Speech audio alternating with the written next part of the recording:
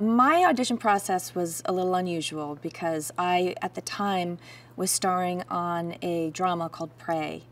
And they had been auditioning Graces for much of the spring and they hadn't found her yet.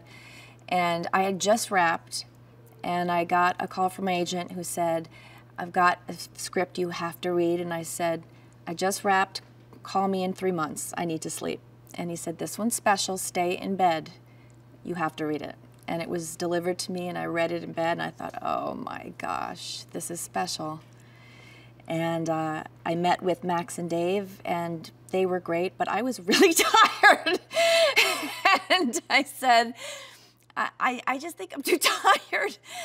And, uh, and then Jim Burrows wanted um, me to come to his house to read with Eric McCormack, who had already been cast.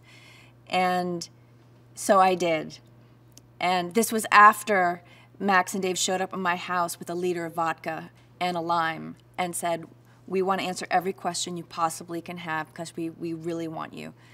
And for three hours, we talked about the trajectory of the show. I, I asked about, you know, the portrayal of gay characters, how it was going to be different from in the past, you know, how they saw the relationships with the straight women.